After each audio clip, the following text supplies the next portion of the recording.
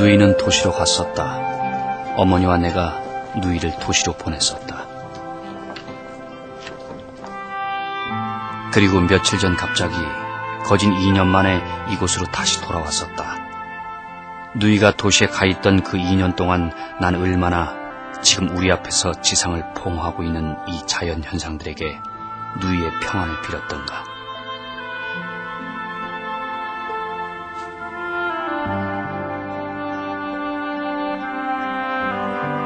그러나 도시에서는 항상 엉뚱한 일이 일어나는 모양이었다. 어떠한 일들이 누이를 핥히고 지나갔었을까? 어떠한 일들이 누이를 빨아먹고 갔었을까? 어떠한 일들이 누이를 찢고 갔었을까? 어떠한 일들이 누이에게 저런 침묵을 떠맡기고 갔었을까?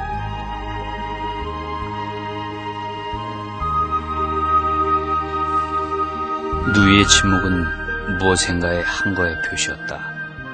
우리를 향한 한 거였을까? 도시를 향한 한 거였을까?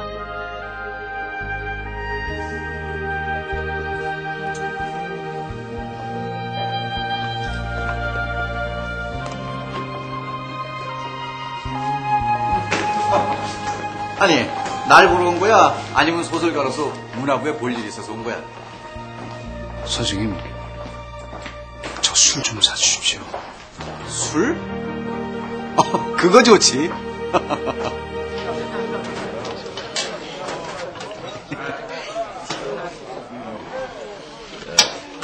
진혁이, 그만 일어날까?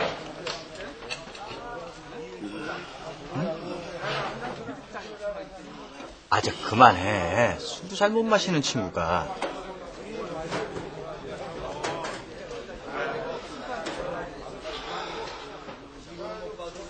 선생님, 전 4.19가 나자마자 보따리 싸들고 집으로 내려갔었습니다. 그때도 학교문 닫았었잖아. 5.16 때도 마찬가지였고요. 4.19 때도 5.16 때도 시골집으로 도망을 쳤습니다. 왜 그런지 아세요? 시끄러운 일에 휘말려 들기가 싫어서였거든요. 그 혼란의 소용돌이 속에서 누군가 죽거나 다치는 걸 보기도 싫었고요. 더구나 제가 다치거나 죽는 건 더더욱 싫었어요. 정말 취했네, 이 친구. 김중태란 친구가 있습니다. 죽음을 두려워하지 않는 멋있는 친구죠. 자신의 뜻을 위해서라면 온몸에 기름을 붓고 불 속에라도 뛰어들 친구입니다. 그리고 또 김명희라는 친구가 있습니다. 이 친구는 김중태처럼 앞에 나서지 못하는 걸 자책하면서 물론 그 친구에겐 그 나름의 사정이 있습니다만 어쨌든 항상 죽음을 꿈꾸고 있죠.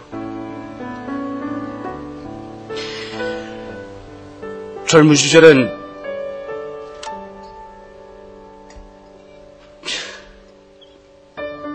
젊은 시절엔 죽음이란 두려우면서도 가장 가까운 그림자 같은 거 아닌가요?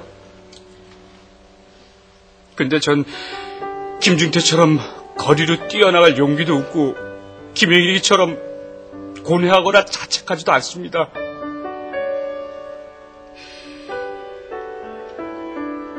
아버지와 여동생 그렇게 가까운 사람의 죽음을 두 번씩이나 목격하면서도 죽음이란 외면해 버릴 수 있으면 외면해 버리고 싶은 그런 싫고 무서운 존재였어요. 그런데요. 그런데요, 선생님. 저 요새 자꾸 죽고 싶다는 생각이 들어요. 자꾸 죽고 싶은 충동이 들어요.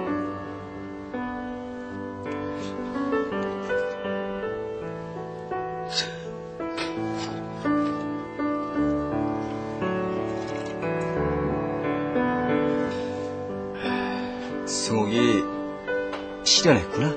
그렇지? 일어나 2차 가자고. 어? 실현한 기념으로 우리 어디 가서 맥주로 입가심이나 하자고. 어? 선생님, 저요.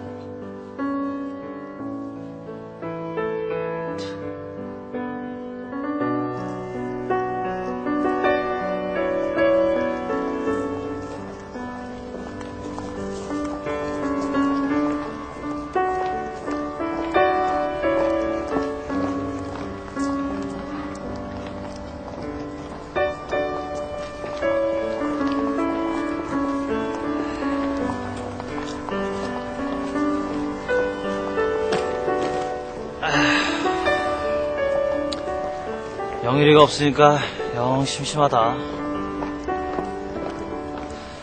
참, 승호가, 너 앞으로 소설 쓰면 남한테 주지 마라. 네 소설 내가 다 영화로 만들 거야.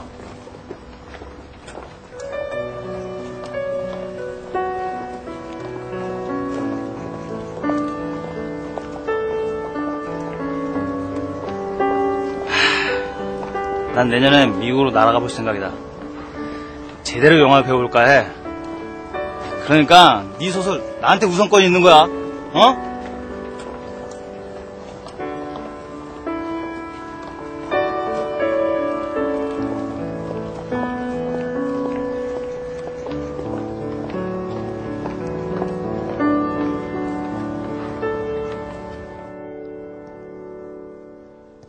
탈춤에는 경상북도의 하회 별친구 탈놀이, 경상남도의 고성오광대, 통영오광대, 함경남도의 북청 사자노름 등이 있는데 탈의 본고장은 뭐니 뭐니 해도 황해도야. 강명탈춤, 송파 산대놀이, 그리고 봉산탈춤이 다 황해도에서 탄생했거든. 오늘 이 중에서 봉산탈춤의 춤들을 연습해볼까 한다. 봉산탈춤엔 팔목중춤과 취발의 깨끼춤, 말뚝의 두어춤, 그리고 미알의 궁둥이춤 등이 있는데 오늘은 이 말뚝의 두어춤을 소개할게. 여기서 말하는 이 말뚝이란 양반들의 무능력과 부패를 고발하는 하인을 말하는데 자, 잘 보라고. 자, 팔을 쓴 상태에서 봉산탈춤의 기본물 소개한다. 자연스럽게 팔을 늘어뜨린 상태에서 오른손을 낭심을 향했다가 살짝 올리고 그 다음에 두 팔을 벌렸다가 점프하면서 다시 내리는 거야. 알겠어? 예. 다들 직접 일어나서 연습해보자. 팔은 내려놓고. 자, 자연스럽게 넓게 펴. 어. 자, 자연스럽게 두 팔을 편 상태에서 오른손을